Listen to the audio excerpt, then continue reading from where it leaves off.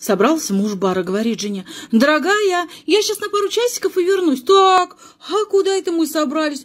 «Ну как, куда? В бар хотел с друзьями сходить, пивка попить». «Так, дорогой, ну-ка, залезь в стеночку, я купила тебе 25 литров пива. И светлое, и темное, на выбор. Пей, какое хочешь. Дорогая, ну ты понимаешь, там подача другая. То есть там все с чипсами подают, это же прекрасно. Так, дорогой, а вон шкафчик открой, я тебе там чипсов купил. Дорогая, ну ты понимаешь, я хочу креветки горячие, там же креветочки, все, все к этому делу. Так, дорогой, я тебе поняла, креветочки я уже поставила, варятся, в чем дело?